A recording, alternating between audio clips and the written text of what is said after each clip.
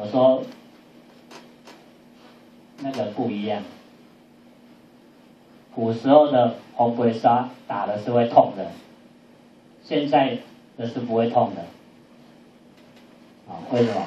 以前吹起来的是那个粗颗粒的沙，现在吹起来都是粉泥，都是粉尘。那跟整个浊水溪的改变有很大的关系啊。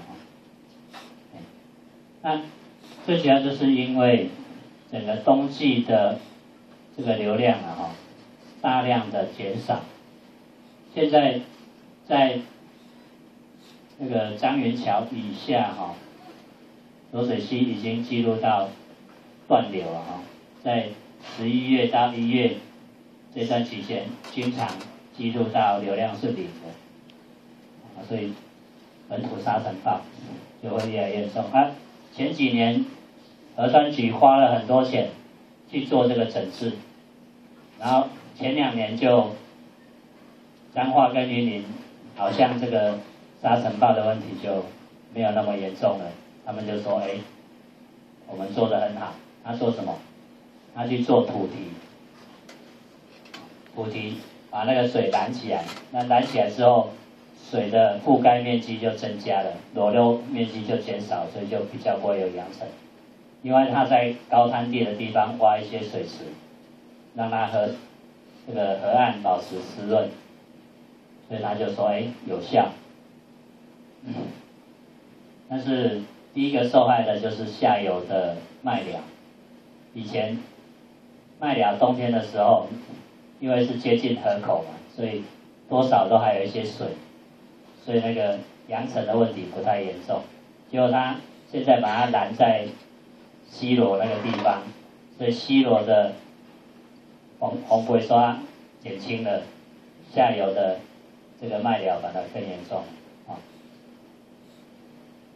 第二个，两年之后就破功了，今年又开始沙尘暴了。那前两年为什么有效？其实不是他。他做的那个有效是老天帮忙的。前两年没有什么台风，前两年没有什么台风，所以他从上游带来的土石比较少。那今年就有台风啊，所以今年的那个河川的那个裸露面积就大很多。因为夏天的时候带来一大堆沙石，所以今年九月底第一。第一道东北季风来的时候，二轮的那个 PM10 哈，就飙破五百了，啊，飙破五百已经快要死人了，会是非常有害的，啊，那前三年最严重的时候曾经飙破一千了啊，不过今年搞不好这个风向如果刚好也有机会嘛，因为去年。前三年最严重那次是在十一月十一号，整个中部包括乌溪流域也是扬尘非常严重，啊，那现在还不到十一月嘛，所以还有机会破纪录。啊，另外讲一个，也是水利单位的上属啊，经济部。